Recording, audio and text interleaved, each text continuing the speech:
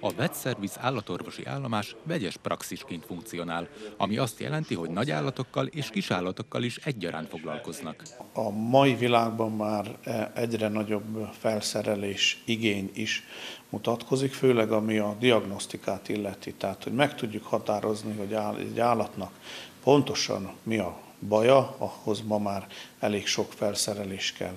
És ennek köszönhetően a Prosperitáti Alapítványon keresztül, hogy pályáztunk, például digitalizált röntgengépet is tudtunk beszerezni, ami nagyban elősegíti az ilyen jellegű problémáknak az azonosítását, de ez mellett még mikroszkópok,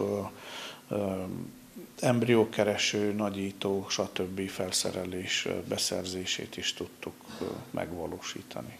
Hegedűs József, amellett, hogy a Betszerviz állatorvosi állomás alapítója, ő a Vajdasági Magyar Szövetség Bajmoki helyi szervezetének az elnöke is. Az összes 37 helyi közösség arányos fejlesztése szempontjából is fontos, hogy legyenek ilyen vállalkozók, hogy legyenek tenni akaró emberek, hogy legyenek közösségépítő emberek, közösség megtartó emberek, és ezért van a Prosperitáti Alapítvány, és ezért óriási fontossága ezeknek a, a, a, a projekteknek a megvalósulása is, és az önkormányzati erős politikai érdekképviselet, amivel tudjuk támogatni a régió fejlődését, és a másik vonalon pedig tudjuk támogatni a, az itthonmaradást, a fejlődést és a tovább haladást. A Prosperitáti Alapítványt még Pásztor István álmodta meg, az elmúlt években pedig már egy megaprojekté nőtte ki magát. Tette hozzá Gyivanovics Dániel.